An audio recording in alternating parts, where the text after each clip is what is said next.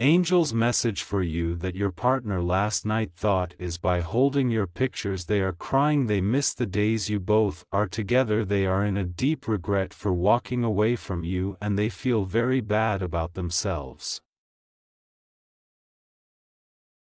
And now your person is crying for hurting you for not understanding your true love their mistake they realize but in the coming days there is going to be a major shift happening. And this person loves you madly, but they regret for making some wrong decisions in your relationship by trusting the wrong people in their life who always never want to see them with you.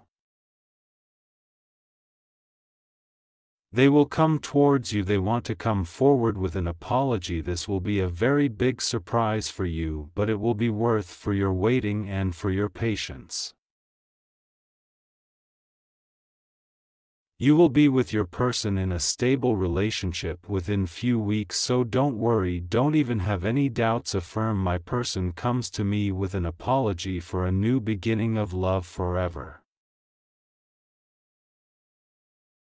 Forever you are loved by the angels and spirits your love life is not empty anymore you are deeply connected to your love and it's supported by angels.